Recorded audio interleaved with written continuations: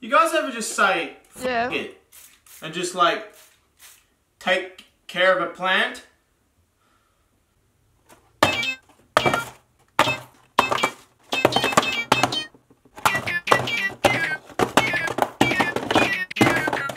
Pocket Monster, Sleepy Time, Pikachu, Jirachi, Mareep, Counting Sheep Ride, It's All About the Night Sky by the look of it. Pikachu's Big Moon Adventure. I'm fluent in Japanese.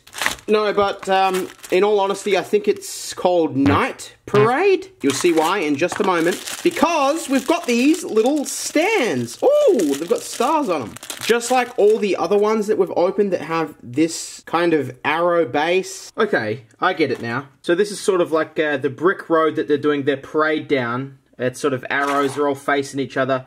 But these also connect together. I think they're all called um, Parade, something Parade. Um, first up, we have a little sleepy female Pikachu, as you can tell from the love heart tail, with a big pink heart. I'm definitely not a gay, but this shit precious. But this is very precious. We have 10 to collect.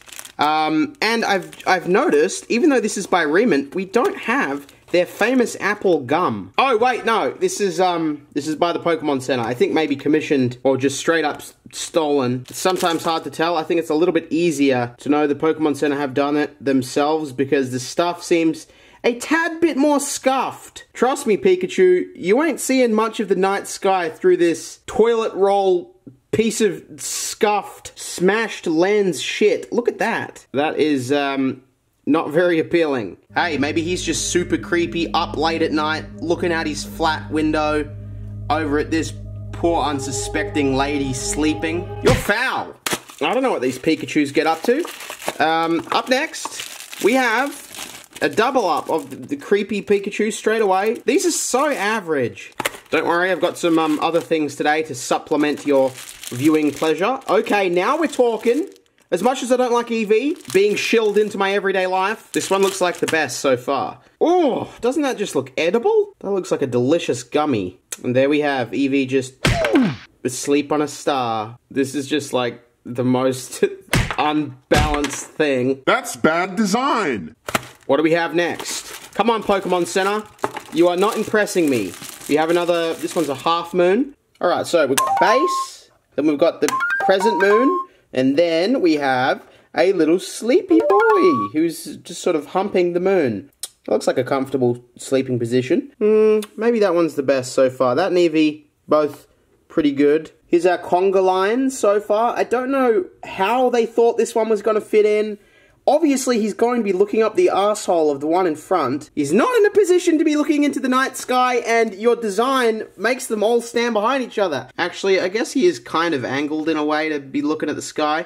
I don't really care.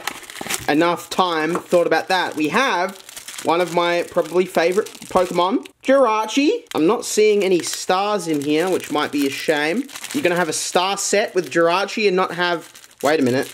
Okay, wait. We have. Oh, he wait. Yeah, he's got a stand with three little stars. Okay, I stand corrected. This rod goes into his crippled back, then like so. These are definitely not as well made as Rement stuff. You should just make Rement do all of this mini stuff for you.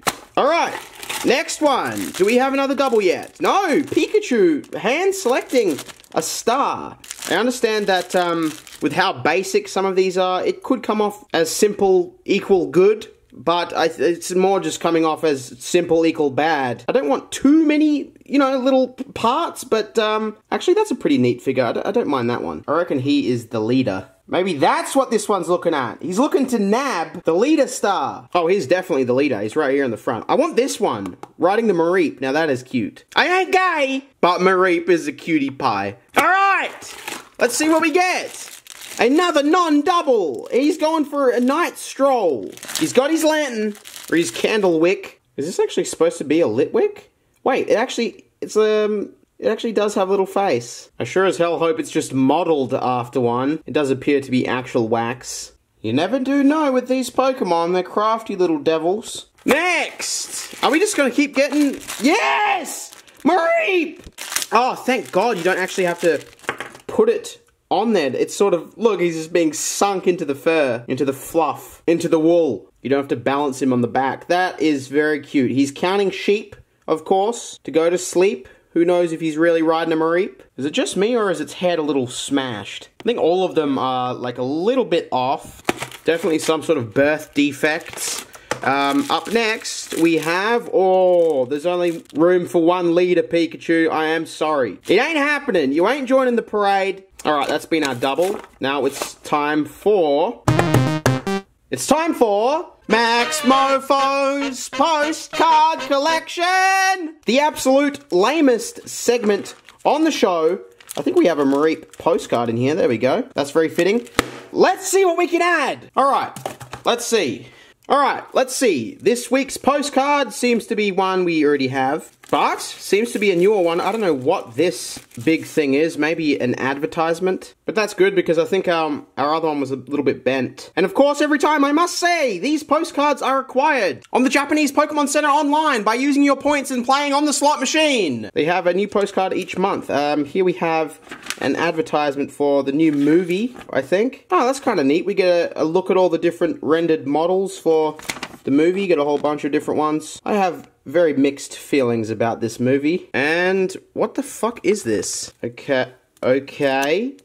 Wait. What?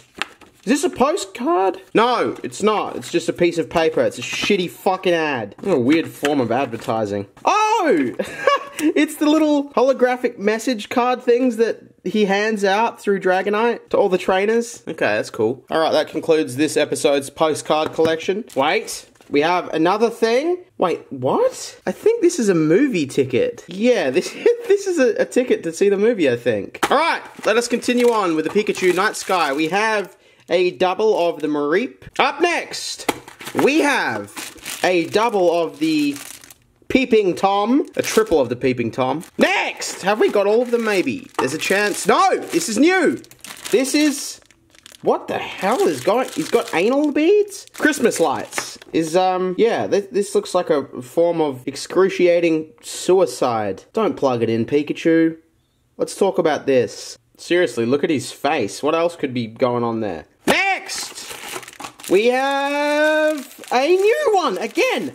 How many is there? I think there's 10. If this number means anything. Ditto is always represented by this kind of nasty purple shade. What is even happening? What is Ditto's inclusion here? Pikachu is up drinking a, a hot glass of cum. He's got a milk mustache.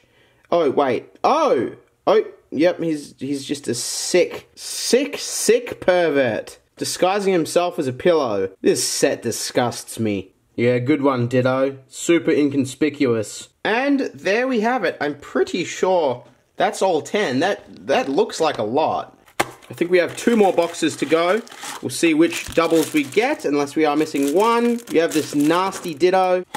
And last of all, we have, again, full circle, back to the female heart-holding Pikachu. This is definitely the best figure. Any that we missed? I'm pretty sure we got all of them. Now, it is time for us to open up our Burning Shadows. Here's a cheeky code card, minus the last digit.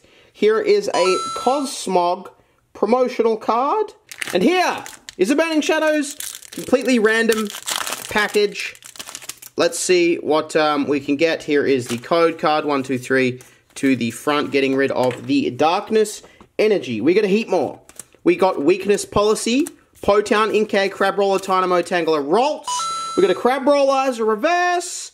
And then we got Toxicroak, absolutely jack shit. Better luck next time. Now, I think we should open up something else. This is a pretty big one. This is one I picked up personally in Japan. I don't really want to do a full set of these. They seem kind of strange. I thought it would probably just be a good one to open up um, randomly for another episode. They are quite large though. A little bit different from the usual figures. And there we have a Ninetales with a fucking coat on or something. I don't, I don't really understand this set. I haven't really looked into it. Was this like a lab coat? Why are they all sort of draped over? Then we've got this more traditional Japanese looking ninja. I think it's a cultural set. Yeah, it's got to be because he's got a lantern, bunch of different stuff. Whatever floats your boat. Thank you guys for watching. My name is Max Moefoe Pokemon. At the link at the top of the description, you can find some of my absolutely banger merch. Oh, look at it. There's hats, shirts, there's a pin in there. If you would like to subscribe, I try to post every two or three days. If you would like to check out another video on screen, that does help me out, feel free to do so. But otherwise, please leave a comment or suggestion for something